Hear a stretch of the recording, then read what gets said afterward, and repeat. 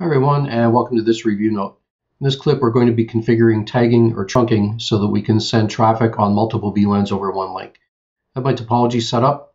I've got two edge switches which have PCs connected into them. Staff 1 and Staff 2 are on the 10.100.10 network and Guest 1 Guest 2 are on the 10.100.20 uh, network. You can imagine we want to set this up so staff can communicate with each other guests can communicate with each other, but they can't cross over. On my edge switches, take a quick look at the configuration. If I show VLANs, we can see that we've got staff and guest configured. Staff 10 is on uh, interface 1, this PC here, and then guest is on interface 2, which is VLAN 20. If I look over on edge 2, I'm going to have the same thing whereby VLAN 10 or staff is connected to interface 1 and then VLAN 20 or guest is connected to interface 2.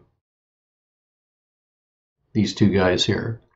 Don't have anything right now as far as VLANs connecting up onto my distribution switch.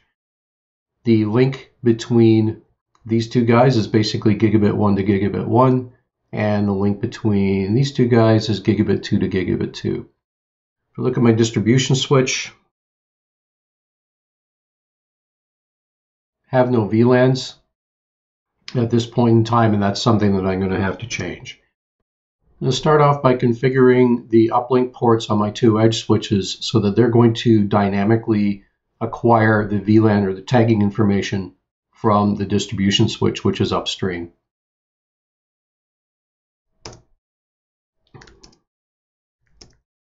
Global config.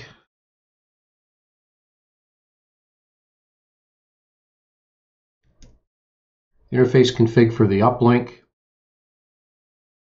Switch port mode is going to be dynamic and desirable. That's all there is to the command. I hit enter and it'll recycle the port connecting to the distribution switch. Pause the video for a sec. I'll go off and do that on switch 2 to save a little bit of time. Then we'll come back and work on the distribution switch. Okay, I'm back from that. So now let's go up to the distribution switch. And here we can see I have no VLANs, which I'm going to have to remedy first. Great. Oops. Great VLAN 10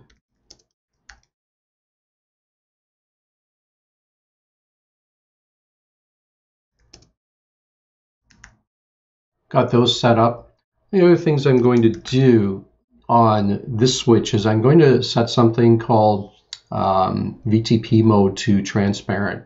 The reason I'm going to do that is on some of these older switches, the VLAN information got stored in a separate file, but we'd like to have that in running config, and that's what setting that transparent mode does.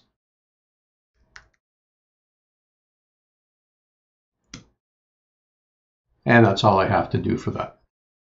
Now, the next thing I want to do is I'm going to want to configure uh, trunking on gigabit 1 and 2 so that I'm going to allow multiple VLANs to be communicated over those two links by putting the tag into place.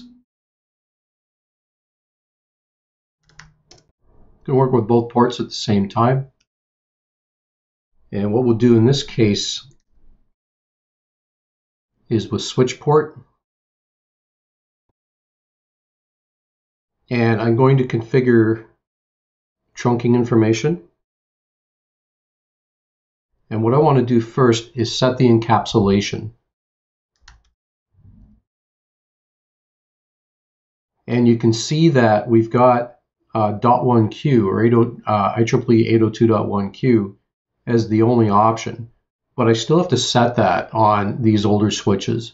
On the newer ones like the 2960s, I don't have to do that there is only one option and it's actually built into IOS that it chooses that. So we've got that done. Next thing we want to do is actually uh, change into the trunk mode. So switch port mode and trunk. And that's all we have to do for that. So this is now set up. If I show my VLANs, I can see that I've got my staff and guests set up on 10 and 20, no interfaces. If I show my interfaces and trunking specifically, I can see a number of things here. Uh, ports gigabit 1 and 2 are trunking. It's on. We're using 802.1q as our protocol. Native VLAN is 1, which is excellent. I'm allowing uh, VLANs 1 through 1005 on the interfaces. The ones that are actually being uh, used are 110 and 20, which makes sense because those are the ones that I actually have configured. Now let's see what effect that has on the uh, edge switches. If I look at this guy, edge 1, I can look at trunking and I can see that gigabit 1 is trunked, but the mode is desirable. So I've not explicitly turned on trunking. I'm basically saying rely on what you see from upstream. Again, native VLAN is 1. I'm allowing 1 to 1005, and I'm seeing 110, 20, and I'm not sure where that 100, 200 is coming from. I'd have to go on. I think I've done something weird up on the distribution switch with that. That's really all there is to setting that up now. So I should be in a position that staff 1 can ping staff 2 and guest 1 can ping guest 2. So let's try that out. And sure enough now staff 1 can ping his mate. I should not be able to ping over onto anything guest and I can't, that's going to fail. Go over and connect on the guest.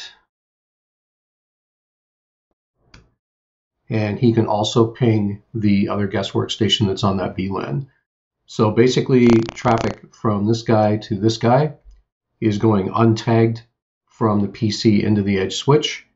It gets tagged on the VLAN 10 to travel from the edge switch to the distribution switch. The distribution switch is going to continue that traffic tagged on the VLAN 10 down onto the edge switch. The edge switch figures out what interface this guy's connected to, strips the tag, and sends the traffic out untagged so VLANs are transparent communication between here.